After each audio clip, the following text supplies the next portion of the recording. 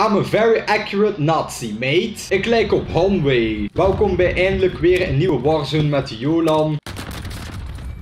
Dit is de eerste Warzone met Jolan op de Pacific Map Caldera. En uh, ja, we gaan gewoon uh, proberen winnen, zoals ik altijd heb geprobeerd. Ik heb nu dus al een week schoolvakantie. Dat vind ik leuk, denk ik of zo. Ook al heb ik geen één kut kunnen doen door de fucking coronamaatregelen. En dan vraag je je misschien af, Jolan, was je rapport goed? En daar heb ik op te zeggen, nee. Helaas was mijn rapport niet goed. Ik ben voor alles gebuist namelijk.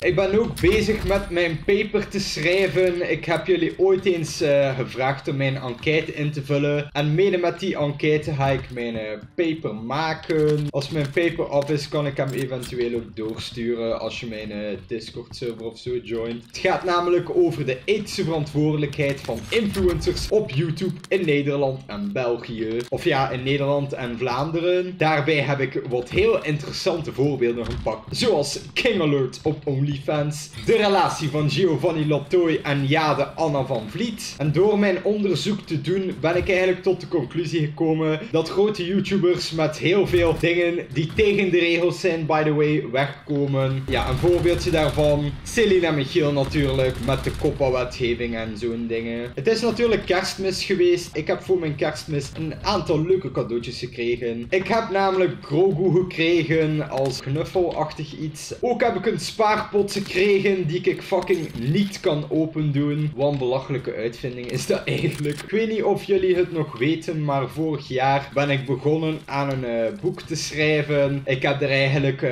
vijf minuten aan gewerkt en dan heb ik er nooit meer aan voortgewerkt. Maar ik had een idee. Voor Engels moet ik namelijk per semester een uh, ja, portfolio ingeven. En ik dacht van, waarom steek ik dat gewoon niet bij mijn portfolio? Ik werk dat gewoon even kort af en dan steek ik dat bij mijn portfolio. En dan gaat mijn leerkracht echt zo zeggen van, what the fuck maak jij, Jolan? Dus ik kan daar niets tegen hebben, dat zijn extra punten voor mij.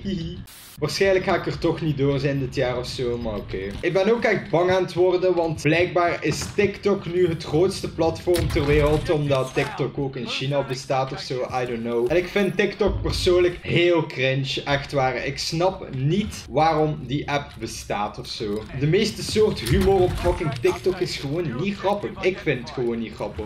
Ik bedoel, vroeger was dat toch Musical.ly of zo, ik weet het niet. Door Musical.ly was bijvoorbeeld Jacob Sartorius bekend geworden. Ik weet niet wat die guy deed. By the way mensen, de dag dat ik dit opneem is het nog een maandje en twee dagen dat Dying Light 2 normaal gezien uitkomt. Tenzij dat ze het weer uitstellen, maar dat denk ik niet. Het moment waar ik al vier jaar op gewacht heb gaat komen. Fucking kut duivel. Uh, ik wist niet dat dat mogelijk was. Blijkbaar is dat... Ik heb het nog nooit uitgetest. Nu boeien de jaarwisselingen mij eigenlijk geen kut meer. Ook qua vuurwerk was het heel zwak in mijn dorp. Ik hoorde gewoon bijna geen vuurwerk. Ik hoorde misschien één of twee knallen. Terwijl vroeger iedereen gewoon bijna doodging aan vuurwerk of zo. Toen werden, er, toen werden er pijlen in elkaars kop geknald en zo. Oh, dat was echt super satisfying. Oh, dat was op het nippertje. Jesus Christ, man.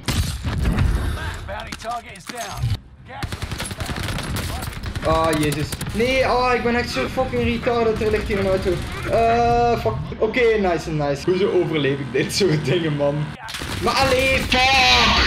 Over Sinterklaas gesproken, vroeger moest ik Zwarte Piet spelen op mijn school. Of ja, kan ik zelf wel Zwarte Piet überhaupt vandaag de dag nog zeggen? Met die fucking woke ideologie. Hou je bek, man.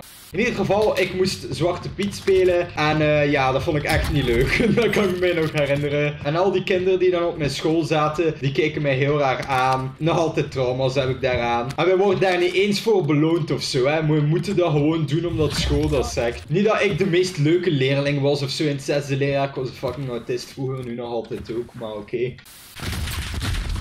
Fuck you, echt waar. Over King Alert gesproken, waar is King Alert zijn kanaal eigenlijk naartoe? Is hij nu volledig op OnlyFans gegaan en heeft hij daarom zijn kanaal King Alert verwijderd of zo? I don't know. Ik weet niet of de King 77 NL nog bestaat. King Alert, als ik één ding over jou mag zeggen, je bent hypocriet, je bent onrespectvol. Yes, ik heb de Battle Pass gecomplete en ik heb dit mannetje gekregen.